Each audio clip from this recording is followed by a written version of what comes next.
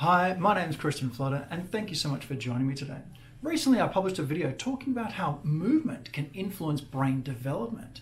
And I was asked a wonderful question as to how can we check and see if this could be something going on with my child?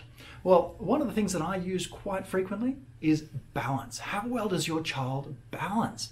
The brilliant and recently appointed PhD, Dr. Wayne Haynes, did a whole bunch of study on this one, and he actually looked at kids and their balance and found that kids with worse balance didn't perform as well academically as their good balancing counterparts. See, balance is a reflection of a couple of things, but one of the most important ones is tone. Now, you might have heard of tone. Tone is how tightly you're holding a muscle. A really tight muscle sends more signaling back into your brain than a really, really loose muscle.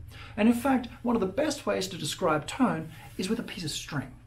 See, tone is the way your brain communicates. Now, if this string is a muscle, and this is a brain, and this is my foot, a good tight muscle, when I move at the foot, my brain feels it. Likewise, when the brain says move, the foot will move as well. Now, if I take tone out of the equation, for instance, if I have low tone, all of a sudden that string is loose. When the foot moves, the brain doesn't feel it until the movement is quite big and quite gross in its movement, and then the brain will perceive it. Likewise, the brain has to say do a lot before anything will happen. Now, this often reflects as the kid, when they've got good tone, when they're closing their eyes and they're balancing, they might just have a little sway and then they correct because they can feel when they're starting to move. But if their tone's not so good, when they close their eyes and they start to move, it takes a long time before they feel it and they have to do a gross uh, corrective movement.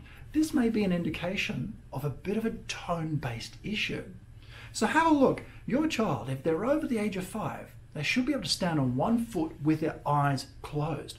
Have a look at how well they're doing that. Because if there's a bit of problem, there might be a bit of a tone issue going on.